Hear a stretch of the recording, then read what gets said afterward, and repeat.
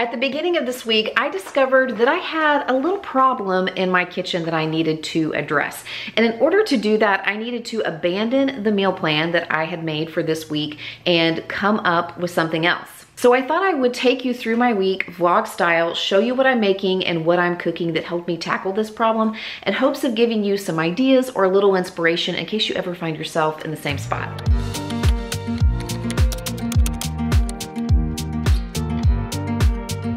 It is Monday and I realized when I opened the refrigerator this morning that I really don't have any business going to the grocery store this week. I had planned to film another video, a cooking video that would require me to visit the grocery store for a few ingredients and when I saw what the refrigerator looked like, I was like, no, I can't do this. We need to focus on using up what we have. Right now, I am just doing a little bit of tidy up and throwing away anything that needs to be thrown away. Fortunately, I haven't come across very much except mostly just like some wrappers and some containers and things that can be thrown out. But one of the things this helps me do is not only take stock of what we have so I can start to make a meal plan or think about meals that I want to throw together, but it can also help me move some things to the forefront so my family sees them. Like this cottage cheese, for instance, it was pushed all the way to the back. And when I put it up here up front, where it's visible, I know that my son is probably gonna reach for that after school as a snack because it's one of his favorites. This right here is my favorite kind of cottage cheese, so I will definitely make sure to snack on that or include that in my meals this week. Will not be hard to finish that up. Unfortunately, these couple of leftover pancakes that I made over the weekend got crushed underneath another container of food, so I think I'm going to have to just dump these out. But the Ziploc bag I will probably toss into my freezer because I can use it for veggie scraps. Okay, I spoke too soon. This nectarine definitely needs to go. It was at the bottom of the package and got bruised and it needs to go in the trash. I can't always save everything. And right here we have a tiny little bit of homemade chocolate chip cookie dough that was left from baking cookies with the kids. I definitely know what to do with this. Mmm.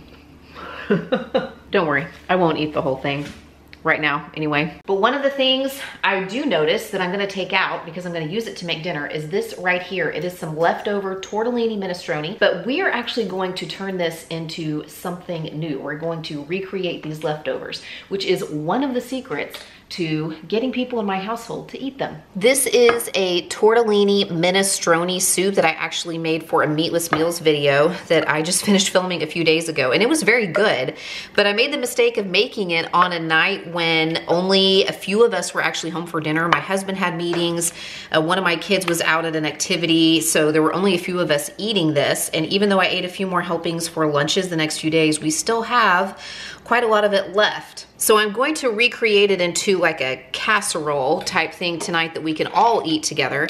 I thought that I would just use some plain pasta, just cook up a few ounces of plain pasta to throw in here. But then I remembered that I actually only used half the bag of tortellini to make the soup. This was like a 20 ounce bag, 22 ounces. So I'm actually just going to stir in the rest of the tortellini from the bag. Since this was a soup, um, it has plenty of sauce. It actually was broth. It was a little more brothy when it was a soup soup and it's kind of thickened up as it has sat in the refrigerator for a few days. So this will be plenty of sauce for the uh, tortellini bake. Plus it's got some veggies and some beans and stuff in there, so it'll be good. I wish I had some mozzarella or something to put in here, but all I have is cheddar, and one of them is like a sour cream and onion cheddar, like a chive, chive and onion cheddar that I got for a charcuterie board for a brunch that I hosted last week. So I thought that I would use that up and then just a little bit of just regular sharp cheddar. So I'm gonna stir this all together. I'm gonna pop it in the oven at 350 until it's heated through and bubbly will probably take about 30 or so minutes. Ooh, bay leaf left over from the soup. I'm actually gonna add just a little bit of crushed red pepper to this as well, just to give it a little bit of a kick. And I feel like it's just a little bit dry, so I'm going to pour in about a third to half a cup of water. The other thing I have left over from my meatless meals video last week are a few Brussels sprouts. So I'm just gonna clean those and slice them. I'm gonna just slice them in half and I'm gonna roast those along with the tortellini bake. Um, just on a sheet pan, a foil lined sheet pan with a little olive oil and some seasonings. Probably just use like an all purpose seasoning or something for that. And that should be dinner tonight. It is Tuesday and Tuesdays are horribly busier than any other day of the week for us. So I really need to come up with a meal that we can eat in shifts, meaning everybody can fix it for themselves whenever they happen to be home over the course of the evening. And I think I've got an idea that will also allow me to utilize some leftovers from the other night. Last weekend, we hosted a family from the church and I made walking tacos for dinner because it's a kid favorite. It's actually one of my son's favorite meals. It's basically taco fixings, you know, meat, cheese, salsa, pico, or pico or salsa, doesn't have to be both.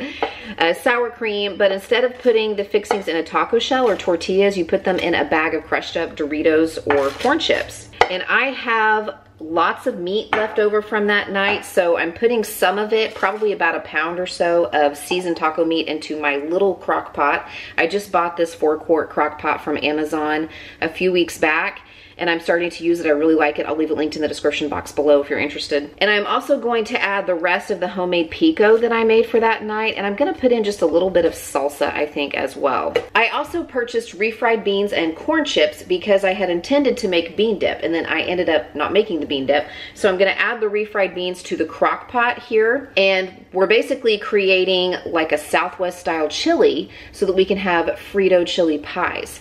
And I figured this will be, you know, a really good way to feed everybody in shifts tonight, like I mentioned, because I can just heat the chili up here in the crock pot and then everybody can just add Fritos and shredded cheese and sour cream and just fix the meal whenever they are ready to eat it. Future Mindy popping in here as I start a load of laundry in preparation for next week's trip to say thank you to today's sponsor, Earth Breeze. I have been using Earth Breeze for the better part of four months, so I was absolutely delighted when they reached out and said that they wanted to work with me on my channel. Earth Breeze's powerful eco sheets look like dryer sheets, but they're actually detergent that dissolves 100% in hot or cold water and any type of machine. The package is compact, biodegradable, and plastic free. It's vegan, cruelty free, safe for sensitive skin, plus their subscriptions are very flexible. You can adjust them, pause them, or cancel them anytime without any penalty. They're so convinced that you are going to love their detergent that they have a 100% satisfaction guaranteed, meaning if you do not like it, they will give you your money back, no questions asked, and no returns necessary. The biggest question you might have is, does it work? And the answer is yes, yes it does. Not only do I have my own clothes and my husband's clothes in this household, I also have lots of towels and linens, plus three children who get dirty and stinky playing sports outside or in a highly chlorinated pool. So if it did not work, I would not be using it. Go to earthbreeze.com slash seemindymom to get started with 40% off. That's earthbreeze.com slash seemindymom for 40% off your subscription. Earthbreeze also has a buy one, give 10 initiative, meaning for each purchase of Earthbreeze Eco Laundry Sheets, they will donate 10 loads of detergent to a charitable cause. Plus, I love how little space this stuff takes up in my laundry room. No more big jugs of liquid detergent or bulky packages of laundry detergent pods. This little package right here can do up to 60 loads of laundry. I mean, it's laundry detergent. We all need it. So we might as well be using one that not only works, but that has a heart for the planet and for other people, and that takes up so little room in our laundry rooms. So once again, to get started with 40% off, go to earthbreeze.com slash seemindymom or follow the link in the description box. That's 40% off your subscription. And thank you again to Earthbreeze for sponsoring today's video. It is Wednesday, and Wednesdays we typically eat dinner at the church. They're having chicken alfredo tonight. I cannot wait, yummy, but it's actually still several hours until dinner time, so I'm gonna make a snack and we seem to always have a lot of yogurt to work our way through. And yogurt often has, you know, a longer life than some other perishable items perhaps in the refrigerator, but still we usually have to make an effort to try to use it up. So that's what I'm gonna do today. I'm gonna show you what I'm making for a snack and hopefully give you some ideas for the yogurt you may have hanging around in your fridge. What I have here is just some plain Greek yogurt. This is not flavored. What I'm going to use to flavor it is a drink mix packet. I know a lot of people like to use pudding mix mix or jello mix. I find that this works best because it doesn't change the consistency of the yogurt, it just adds a little flavor. And I only need about half of this package. I don't use the whole one for just one bowl of yogurt. So I'm just gonna stir that in. This is a lime flavor, which is one of my favorites. And now I'm just gonna add some chopped up apples and a little bit of granola with that for some crunch. You could use some chocolate chips or white chocolate chips. I don't have any, so I'm gonna leave them out today. There you go, yum. Another thing I'm trying with yogurt is freezing it. So earlier today, I took some vanilla yogurt that was very close to its best by date and I put it in an ice cube tray and popped it in the freezer. And in a couple of days, when the yogurt is frozen, I can pop the cubes out of the ice cube tray and put them in a Ziploc baggie in the freezer. And I figure I can use those later on in fruit smoothies. It is Thursday and I am still trying to use up the seasoned ground beef from taco night a few nights ago. Apparently, I way overestimated the number of tacos that my family and our guests would want to eat that night. So I actually took to Instagram earlier. If you're not following me on Instagram, be sure to give me a follow. It's at See Mindy Mom, especially if you like the more vlog style content because I tend to do just more like day-to-day -day stuff, kind of take you through my day occasionally and uh, put stuff in my stories over there. But I actually put a poll over in my Instagram account asking you guys or my followers over there what I should make for dinner tonight. Taco pizza, taco pasta, or taco sliders. And taco pizza won in a landslide, which is why you hear the bread maker going in the background, if you can hear that.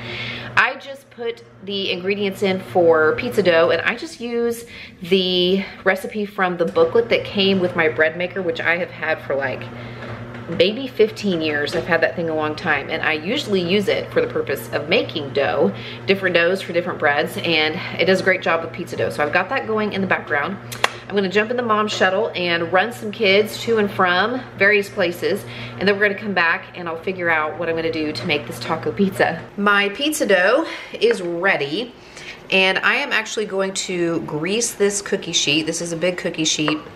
And then I'm going to sprinkle some cornmeal over it. You don't have to do that. You could just use flour. You could just grease the cookie sheet. I just happen to have cornmeal and it kind of gives it that pizza crust uh, texture. I think it's also easier if I grease my hands a little bit to work with the dough. So what I'm going to do is just drop it onto the cookie sheet and I just work with my hands and press it into the cookie sheet. I just kind of spread it out across the cookie sheet until it is evenly spread. So it takes a little bit of work, but I think it's just as easy doing it this way as it is trying to use a rolling pin to roll it out. Brick is here helping me and he has decided that we need to make this a stuffed crust pizza. So I have these little cheese sticks here. These are actually cheese sticks that we just sliced up and I'm putting them on the edge of the crust and then I will roll the crust down around the cheese.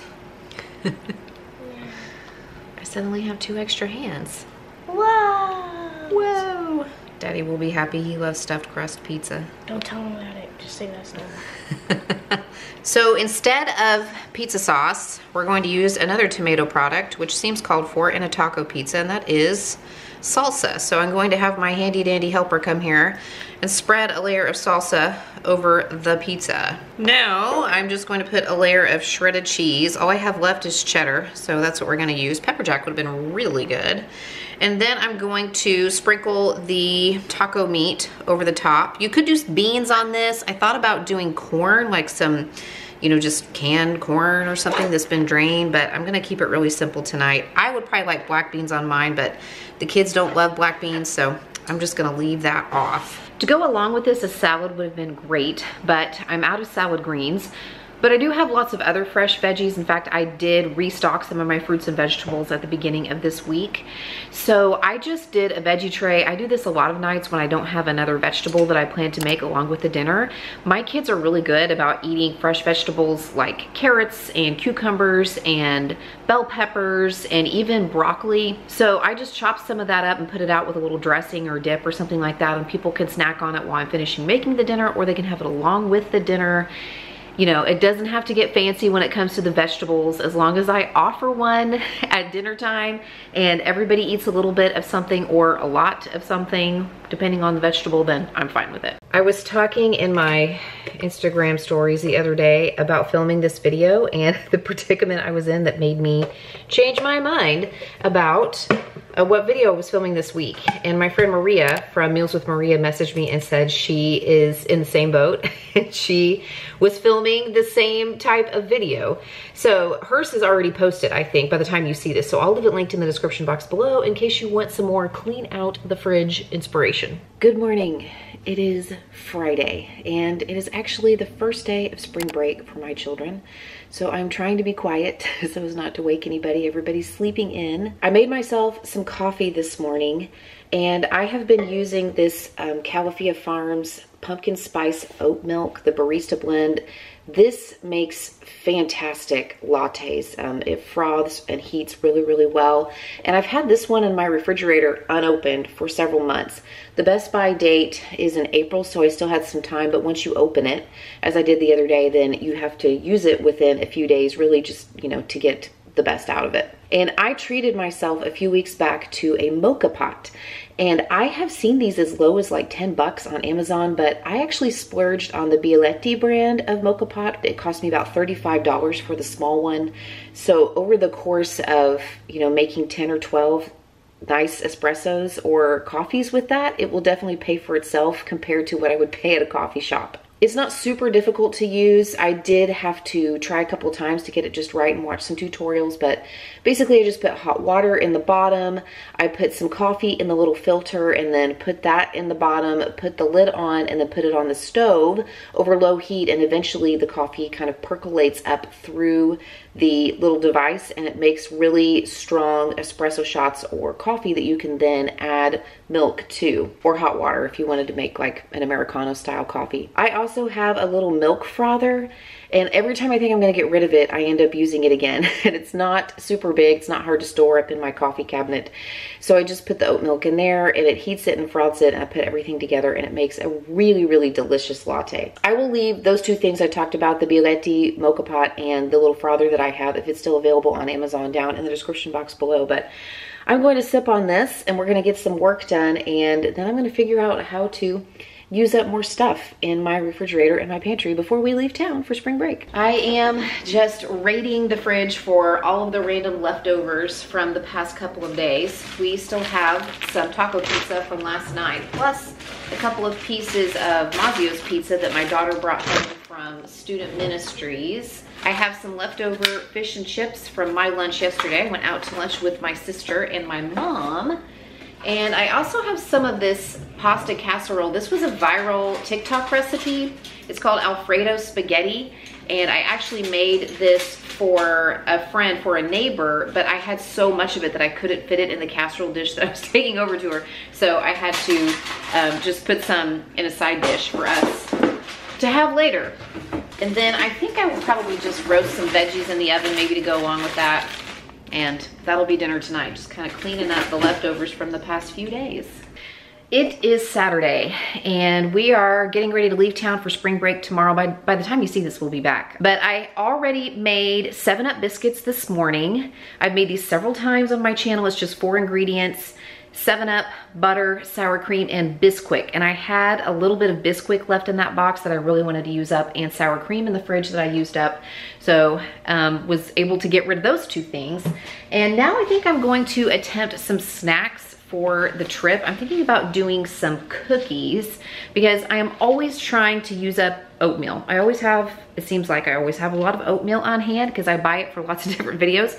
So I think I'm going to whip up some oatmeal cookies, but instead of using raisins, I'm going to use cranberries. Do you think that'll work? Because I don't have any raisins, but I've had these sweet and dry cranberries open in the pantry, I think since Christmas. So it's been almost three months. I really need to use them up. And I feel like those should go in oatmeal cookies. I don't have any white chocolate chips. That would be really good. But I'm gonna whip some of those up. I am just going to use the basic like oatmeal raisin cookie recipe and we'll see how these turn out. So I have this package of bacon that I really need to use. And if food waste is sad, and it is, then bacon waste is just a tragedy. So I'm actually just going to pop this onto a foil lined cookie sheet and bake it all up in the oven. And I'm going to use it to make some turkey and bacon subs. I, I had some sub rolls that I needed to use that were in the freezer. And I'm just going to put those out on a platter with whatever fruits and vegetables and maybe crackers or snacky things I could scrounge from the pantry and the fridge. And that will be our dinner tonight. Okay, tell me this doesn't look a lot better if the goal is to clean out the fridge before we head out of town on vacation for spring break. We'll be ready to restock this when we get back. I didn't have to throw out very much. We used what we had and looking a lot better. Thank you again to Earth Breeze for sponsoring today's video. For 40% off your Earth Breeze subscription, check out the link in the description box below. Pick out one of these videos to watch next and I'll see you there.